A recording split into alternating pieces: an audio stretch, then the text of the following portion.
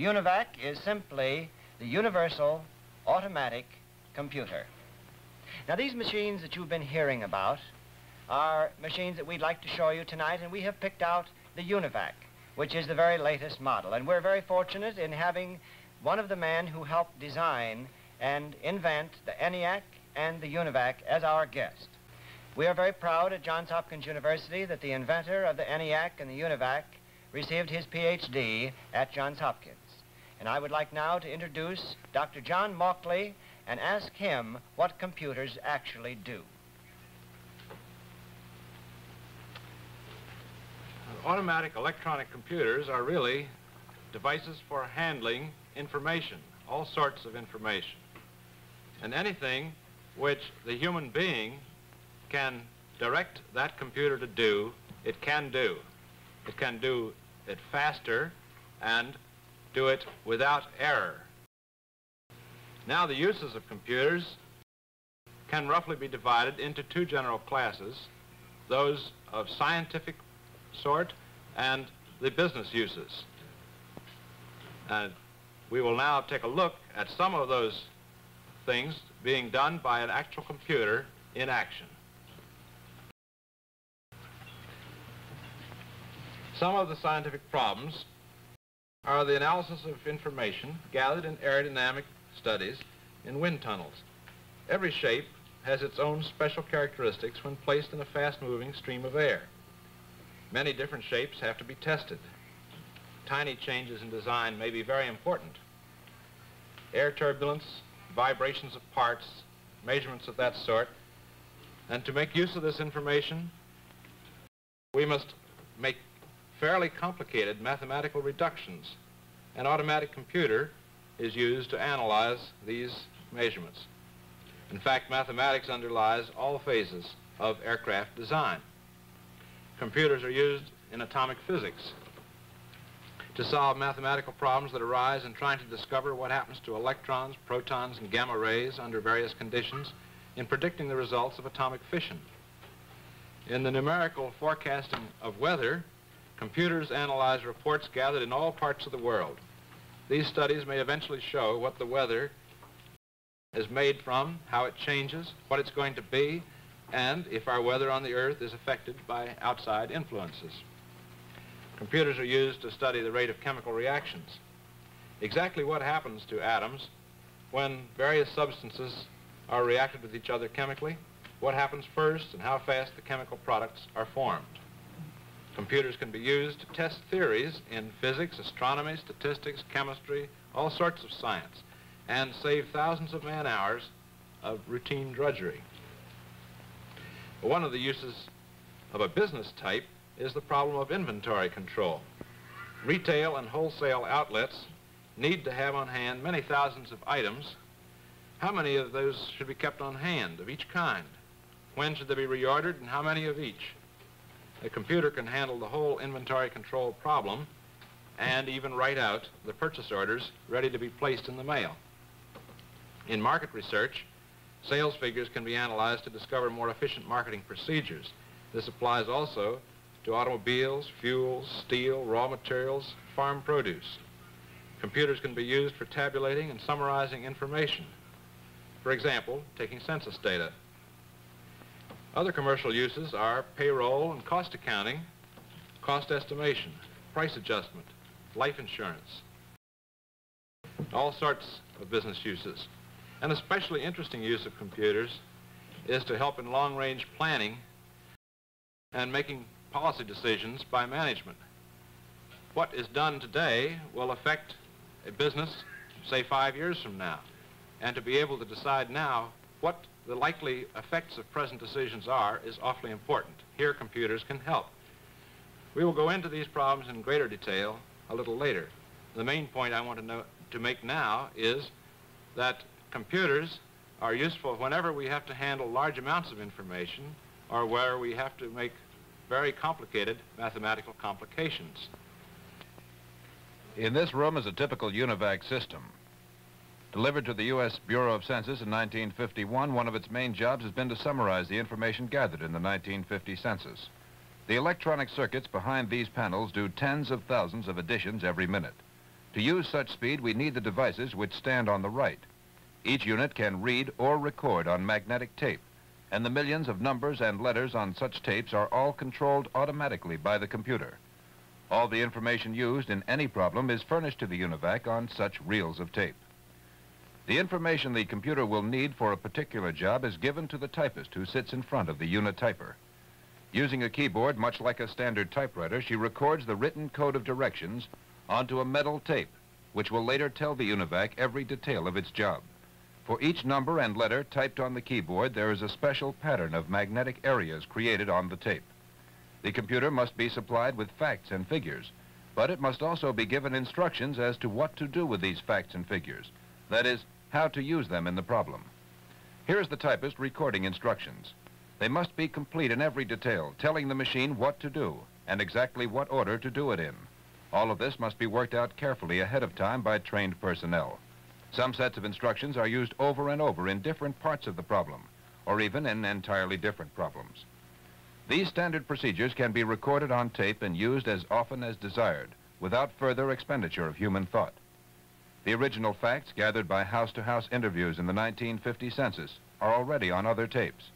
Such tapes have been prepared by the automatic reading of a punched card file which the Census Bureau made from the house-to-house -house reports. The instructions are now recorded on the tape and are ready to be taken to the UNIVAC computer. Tapes with instructions and factual information can be prepared in advance so that the computer will not stand idle waiting for a problem. Here we see the instruction tape being mounted on the first Uniservo. Other Uniservos have already taken their data tapes. A special connecting device makes it unnecessary to thread the tape through the reading head. When this instruction tape is ready and the door is closed, the computer automatically reads off the instructions and begins the problem.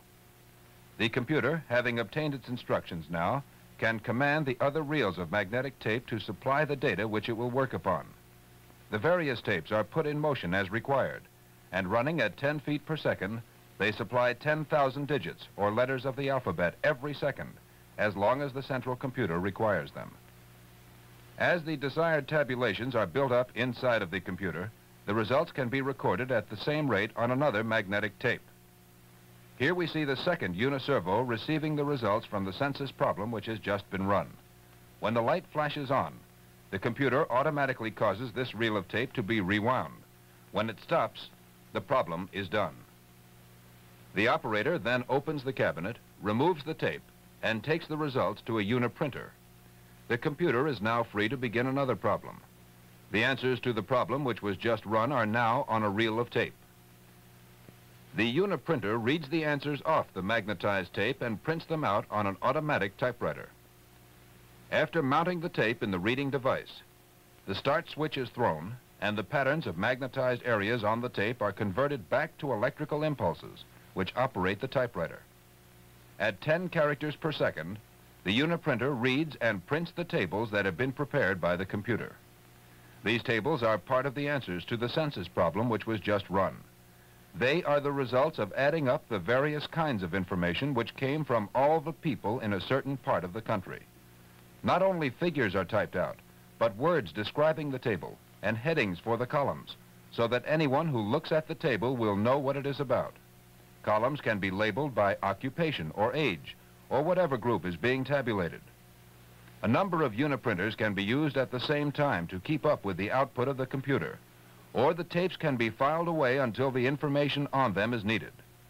Thus, the problem starts out as numbers and letters on paper, is put on tape by the unityper, is supplied to the computer by the uniservos, which also puts the answers on tape, and the uniprinter changes the answers back to words and numbers on paper.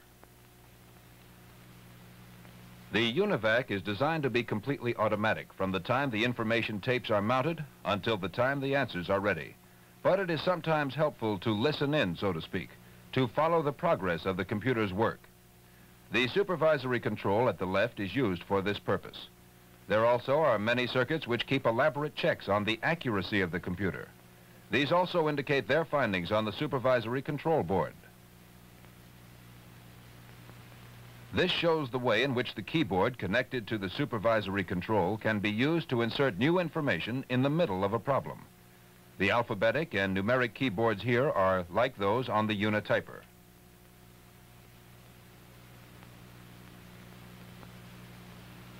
And this shows a UNIVAC computer being assembled. The Census Bureau computer is not the only one of its kind. Other UNIVAC systems of exactly the same design are being used today, and still more are being built. Before the casework and doors are put in place, the vacuum tubes and other components, which are the working parts of the UNIVAC, are exposed. Here are several computers now under construction at the Remington Rand plant in Philadelphia, each in a different stage of completion. This one, already in operating condition, is being prepared for a customer acceptance test.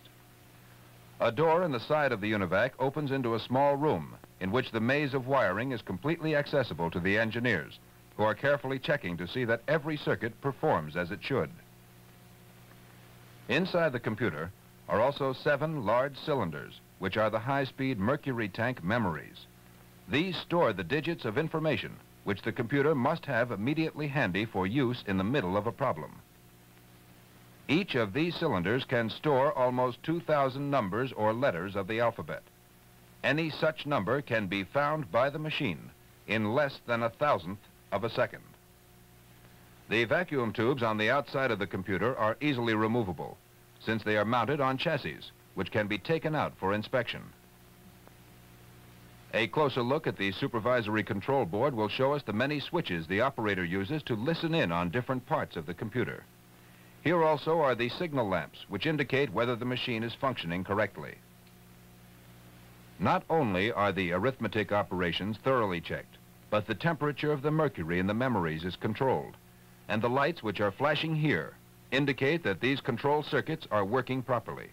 The numerous voltages which are necessary for the electronic circuits are constantly being checked also, not by a human engineer, but by a fully automatic circuit, which repeatedly scans all the voltages, one after another, to see whether they are within the correct operating levels.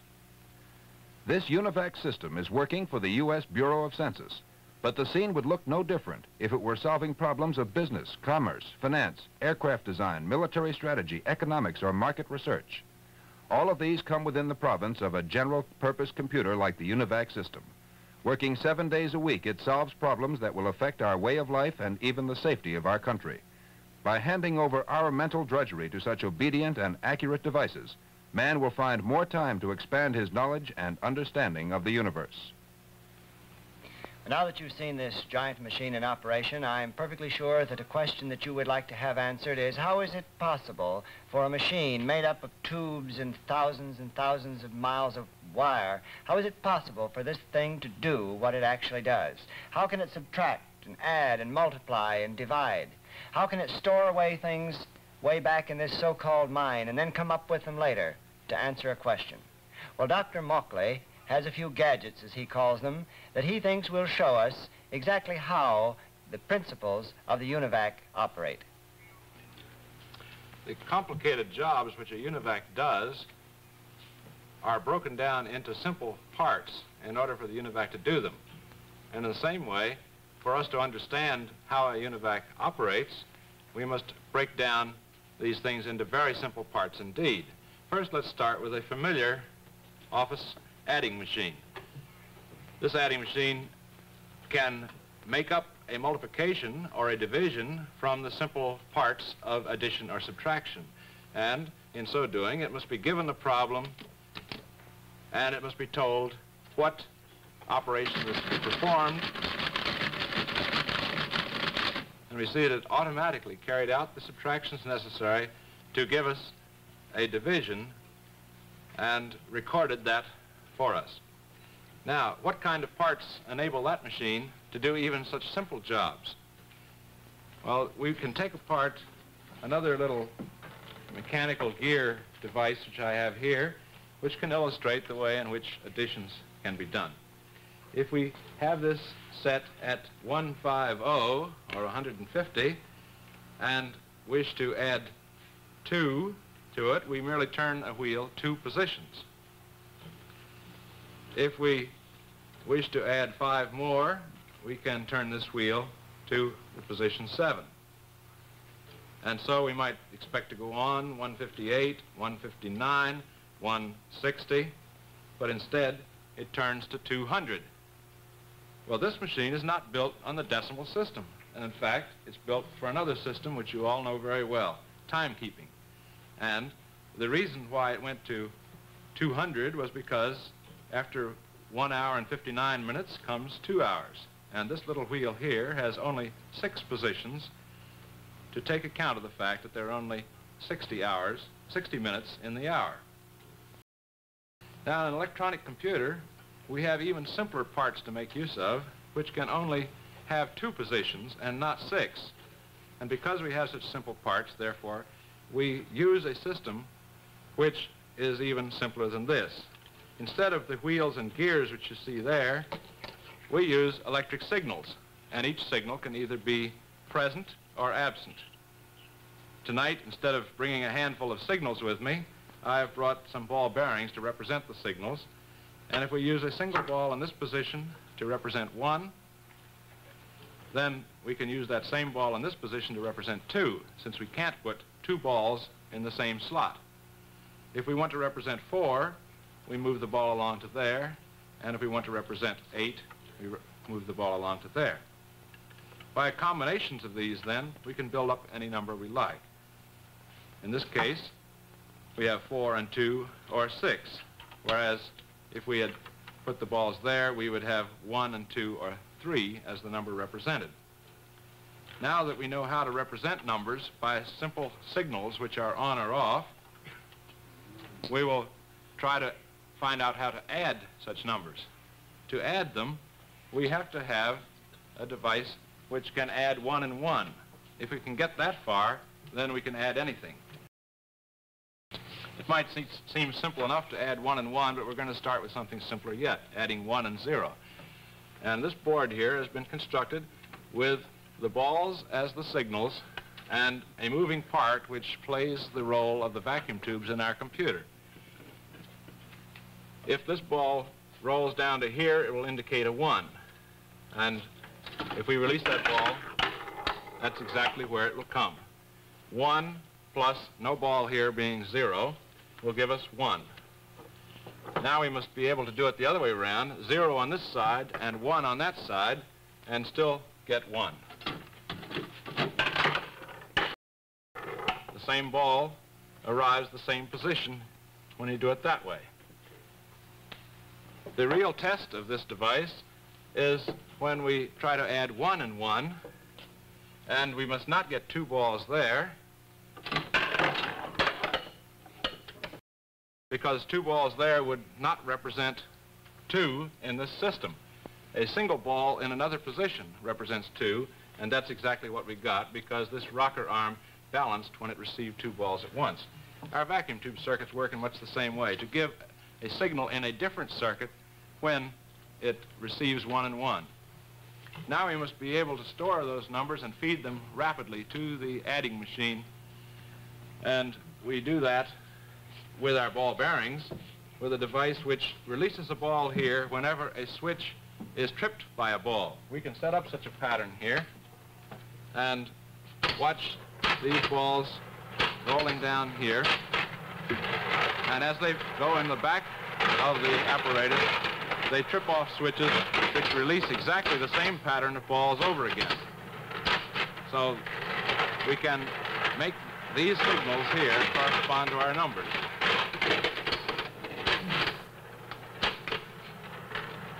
In the actual computer, instead of the balls, we use signals which become sound waves in a tube of mercury, and these are then amplified and sent back through, and can be the same patterns can be continued over and over, so that the uh, resulting patterns can be stored as long as we like.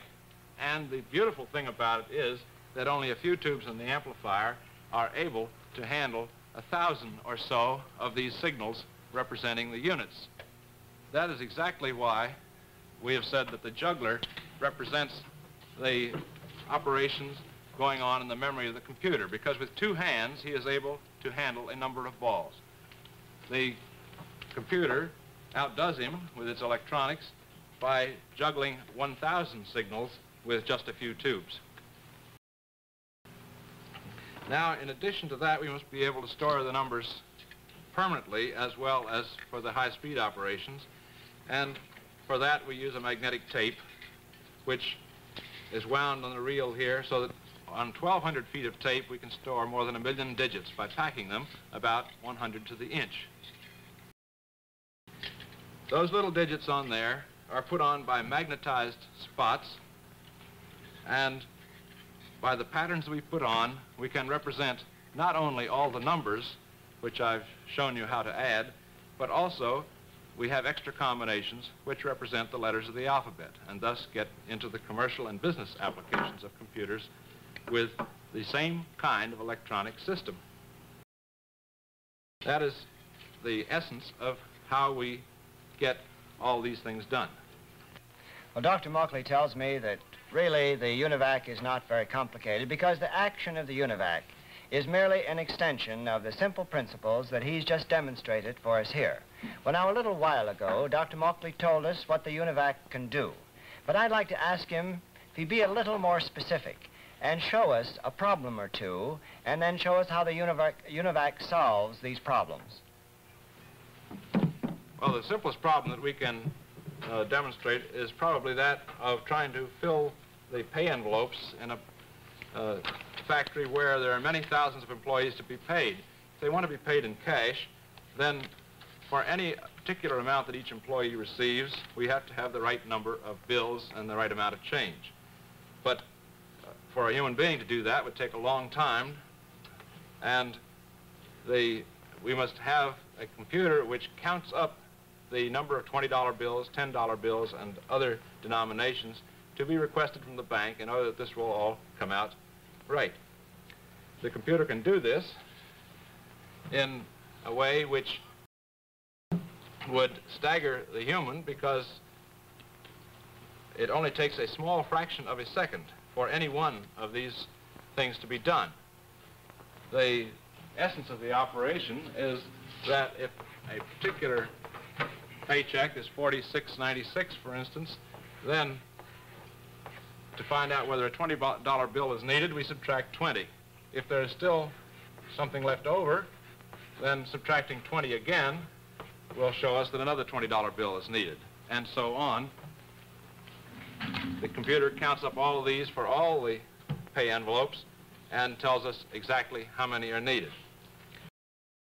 In the inventory control problem, as I mentioned before, it is most astonishing probably that not only can we keep track of the inventory in the, any given operation, but that the computer itself can determine how much must be ordered and write out the purchase orders because it will have on its magnetic tapes a file of all of the firms from which the orders should be made. Coming back to the problem that was put me first as to whether computers think, it's my opinion that we, as long as the computers are our slaves and are doing our bidding and must be told exactly what to do, it is hardly right to say that they do the thinking. I'm sure after seeing this demonstration, we'll all agree with Dr. Mauchly that the computer can't think because it's the human being that has to push the button and put all the information in there so that this great UNIVAC can do its work. As a matter of fact, the UNIVAC is being used for so many things. It's being used in elections to find out what the results are and prognosticate as the results of these elections come in by the hour in election campaigns. Now, the UNIVAC is also being used by scientists. It's going to do a great deal of work for the scientist, so that the scientist himself can be free to do other things.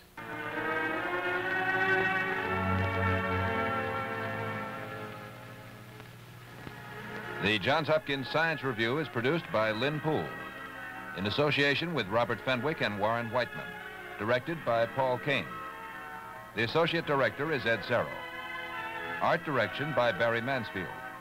Your narrator has been Joel Chaseman.